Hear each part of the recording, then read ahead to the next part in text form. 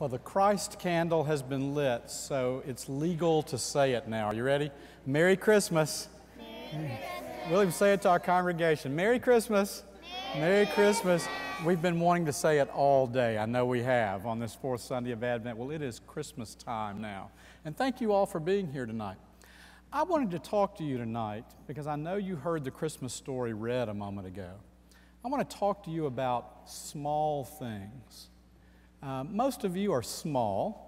Compared to your parents, you're small, or you're smaller than me, you're small. So I want to talk to you about some small things. Do you know the country that Jesus was born in is called Israel? And do you know it's one of the smallest countries in the world? It's not the smallest, but it's one of the smallest countries in the world. Do you know that you could put four Israels in the state of South Carolina? That's how small it is. And we live in the United States, which is a big country. You could put four Israels in South Carolina. And the town that Jesus was born in, Bethlehem, is one of the smallest villages in all of Israel. A very, very small village. And Mary, who was Jesus' mother, was just a young girl who really wasn't well known when she became the mother of Jesus. The place where she had the baby Jesus in the stable would have been one of the smallest rooms that's attached to the side of a home. It's kind of where you kept your pets or where you kept your animals if they had to come in from bad weather, kind of like a utility room in your house where the washer and dryer might be. And the manger that they put Jesus in would have been one of the smallest pieces of furniture that you could find. It was a trough that cattle ate out of, but it wouldn't be as big as a sofa or big as a bed. It was actually very, very small. And then the shepherds came, and they were probably some of the least paid people in the world. They kept sheep in the middle of the night. They didn't get paid a lot, but they were the ones that the angels told about the baby Jesus. And speaking of angels, compared to God, angels are kind of small, aren't they? Because God is so big that the universe couldn't hold God, but an angel seems as about our size and came and shared the story with the shepherds. Almost everything in the Christmas story is small. And it's a reminder that God really specializes in taking small things and doing great things with them. God doesn't want to be the kind of God that has to have big things and great things and extraordinary things to work with. God can take the smallest things in the world and do beautiful things with them. And in fact, when God decided to come to the world, He came as a giant, right? Nope. He came as a what? As a baby, as small as a human being could be. That's the way God chose to come. Now, I wanted to show you something else that's very small tonight. And we have heard some wonderful musical instruments tonight. We've heard the organ and the piano and violins. They are very complex, wonderful musical instruments. This is one of the smallest, simplest of all musical instruments. Does anybody know what it's called? What's that? A recorder, yeah. And the recorders first showed up in about 1300 in Europe, the year 1300, when some of your grandparents were born.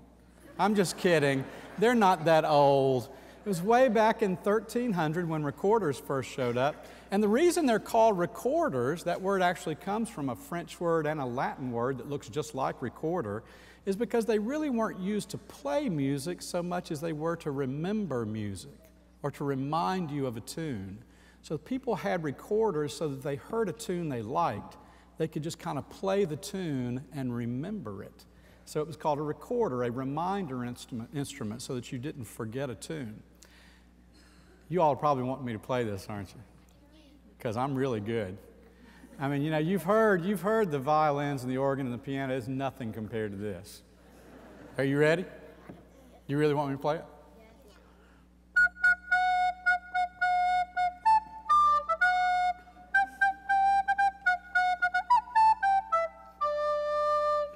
Oh, yeah. Oh, yeah. Yeah, that's what I want right there.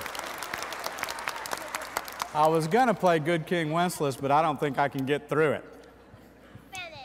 But it was a very small instrument just meant to remind you of a tune until the 1600s and early 1700s. Some of the greatest composers in the world, that's during the Baroque period of music.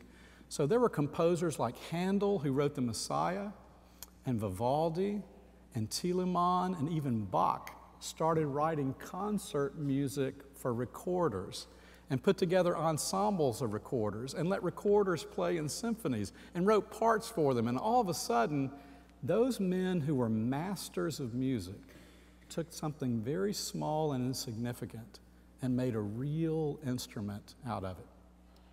It's very much the same way that God takes very, very small things and because God is our master, can make something incredible come from it. I like recorders because they make music. And when you listen to the Christmas story, in fact, somebody this morning went out and looked at me. It was not one of you, it was an older youth, looked at me and rolled their eyes and said, Why is there so much music in the church service during the Christmas season? And it's because have you noticed that almost every small thing that God uses gives God a song back? When Mary's chosen to be the mother of Jesus, as small as she is, she sings a song. When the shepherds are showed the baby Jesus, it says they went back rejoicing and praising God, singing a song. Even in the stories that we see on TV, when Cindy Lou Who helps the Grinch learn about Christmas, at the end of the story, everybody sings a song. When the little Christmas tree helps Charlie Brown and his friends remember the meaning of Christmas, at the end of the story, everybody sings a song. The little drummer boy who's not in the Bible gets to see the baby Jesus and plays a song. Music comes forth when little things are used for God.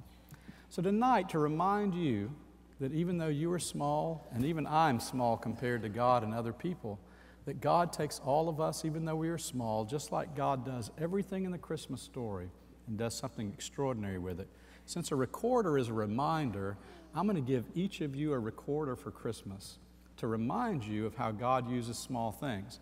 Now, here's the deal I know you want to play them. I know you do. And you know what? I'm going to let you play them in church tonight. But you have to wait until I tell you to play them, okay? So I'm going to give them to you. I want you to take them back to your seat. You can let your mom or dad hold them if you just feel like you can't, can't not play it until the appropriate time. They can hold them for you. And then I'm going to tell you after the benediction when to play and what to play. Now, we're going to play Joy to the World together after the benediction, and you don't have to worry if you don't know it because these recorders automatically play that song. You just blow into them, and they will play it, okay? All right. I'm going to get our acolytes to help me hand these out to you. And you can, I'll tell you what, let's have a prayer first. Then, when you get your recorder, you can go back to your seat. Let's pray. Loving God, we thank you that though each of us are small, just like with everything in the Christmas story, you choose to love us and use us in your world. Help us to go forth singing tonight because we have been in the presence of your Son, Jesus Christ. And it's in Christ's name that we pray. Amen.